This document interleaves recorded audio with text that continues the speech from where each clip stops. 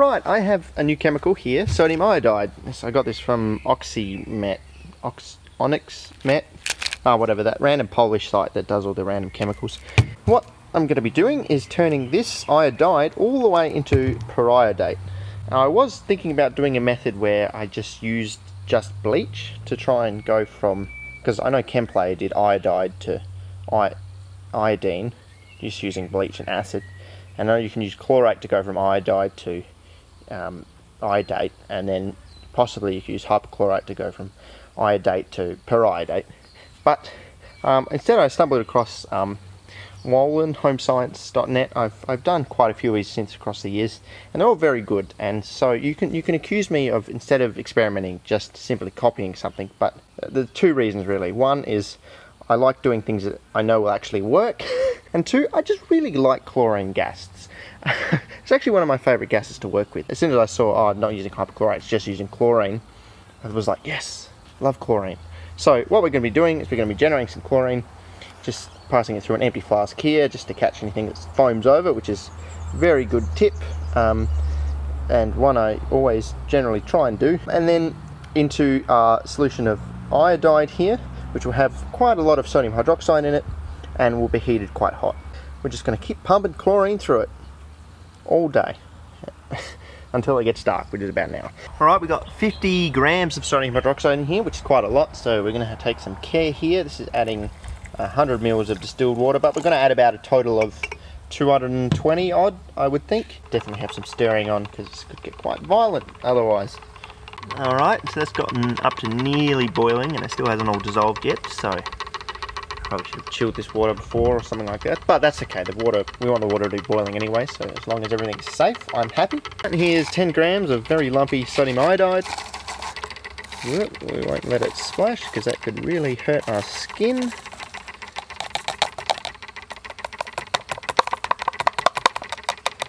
Yep. Um, Woelen uses TCCA and uh, hydrochloric acid, which is trichloroisocyanuric acid. Um, so like pool chlorine basically from hardware stores, but not calcium hypochlorite. Um, and this is the method I recommend for making chlorine too, because I've tried quite a few and this is definitely outstandingly the best. Hydrochloric to the TCCA because it's like really powdery, the stuff that I had that was randomly in this yogurt container, but you know, I can't really get so mad at, you know, myself from five years ago. That's what I used to do, but these days I'd store that in a glass jar or something rather than a real shit yogurt container that's fallen apart. But whatever.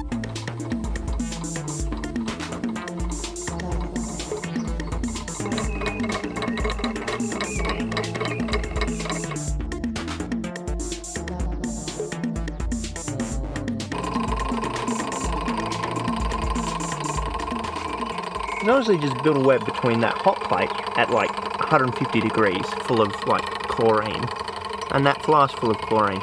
Go, you go little guy. You go. You do you I guess. You do you. And once again I'm using the Teflon tubing uh, because it's really the only tubing that's going to survive chlorine. Um, and it, it works really good. I've sealed the joints once again with Teflon tape around the outsides to hold them there because otherwise they don't really hold on there.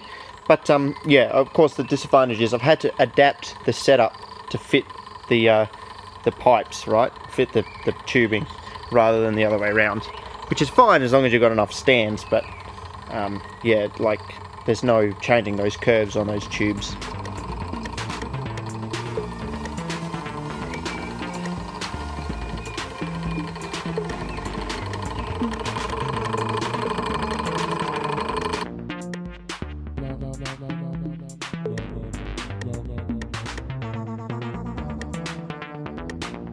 Solution has been yellow um, for, you know, about an hour and a half.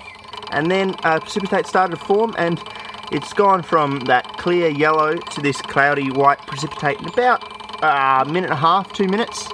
So when it starts to form, um, it really starts to form. And this is our, our periodate. So the periodate has quite a low solubility, especially compared to everything else in solution. Well, uh, sodium chloride is Mm, got a moderate solubility, but so the fact that it's got a low solubility means that we just we're just going to pump chlorine through it until it precipitates out. Is that's what we've done. Um, so that's why I didn't bother measuring anything out in terms of the chlorine being produced or anything like that, because I just was just going to keep going until we saw this precipitate, and then well, we'll go for a little while longer until it looks like nothing is coming out. Um, but that's our product, which is great. It's uh, it's working, so that's uh, fantastic. All right, I'm ready to call this a day. We've got a nice crop of crystals down the bottom there. Um, they're looking great, so I'm just going to swap this out for a bit of a chlorine scrubber, just some um, sodium carbonate and some water, and we'll uh, filter this through the vacuum filtration system. I've let it cool slightly, so it's just warm rather than being boiling hot. If we let it cool, there's the risk that we might precipitate out some chloride or something like that, but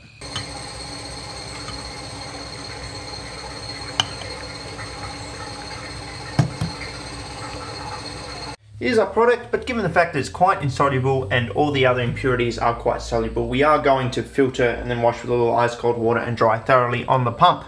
It looks really good, nice and dry, but it's like 110% yield, which I don't believe. So I think there's significant chloride contamination. So we're just going to resuspend this in some sort of warm water and then do the filtration again, and that should um, purify it a little you know, it's I think the solubility is too low to do a proper recrest. All right, now once again, here's our final product. It's 16 grams, which is 88%, which is still reasonably high, but uh, I at least believe it now.